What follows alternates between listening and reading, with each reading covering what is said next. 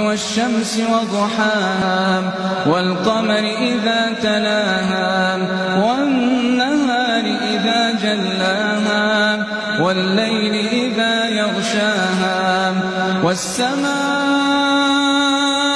وما بناها والأرض وما طحاها ونفس وما سواها فألهمها فجورها وتقواها.